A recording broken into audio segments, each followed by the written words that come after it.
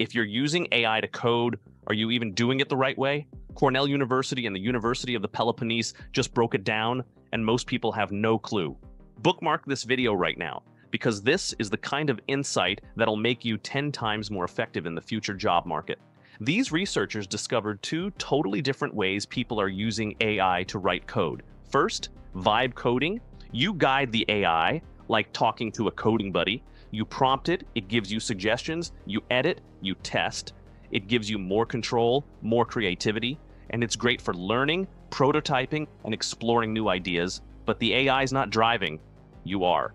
You debug, you decide, you own the process. Second, agentic coding. Here, you give the AI a goal. It figures out the steps, writes the code, runs tests, and even fixes bugs. It's like an autonomous developer that just gets things done. You lose a bit of control, but gain massive speed and automation. What did the research find? Vibe coding, better for creativity, flexibility, and personal control. Agentic coding, best for automation, scalability, and repetitive engineering tasks but here's the kicker the most powerful developers will use both Vibe for ideation, Agentic for execution. That's the future. Tag your smartest friend, the one already experimenting with AI tools.